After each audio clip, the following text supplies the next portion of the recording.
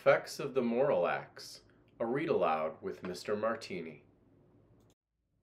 Hello everyone, Mr. Martini here, and in this video I'm going to be reading aloud Effects of the Morrill Acts.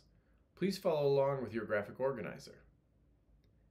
Agriculture was becoming more of a business as farmers increasingly grew food for the market at the same time as industry was growing.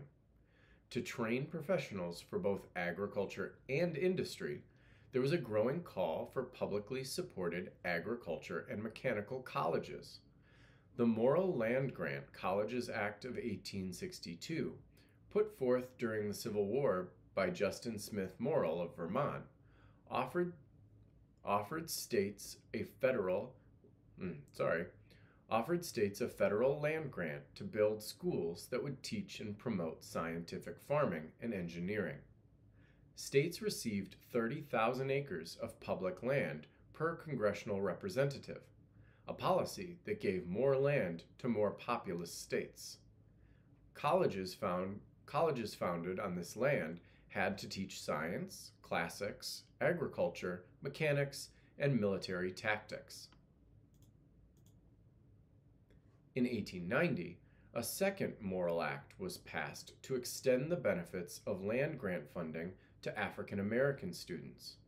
It required states either to admit students of all races to their land grant colleges or to set up separate land grant colleges for African Americans.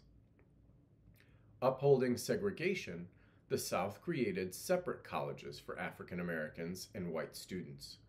Many of these agricultural colleges grew into historically black colleges and universities serving African Americans in the South. Both of the Morrill Acts had important effects on the country. Private colleges were expensive. The new public schools were more affordable. They made college more available to Americans and affirmed that the government would play a role in supporting higher education. Private colleges also did not teach the practical skills that many Americans needed to find jobs. Land grant colleges emphasized the training and skills needed in an agricultural and industrial society. The first land grant college to open was the University of Massachusetts. Large universities also formed in the West and Midwest.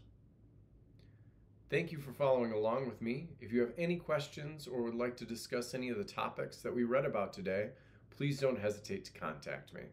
Thanks, and have a great day.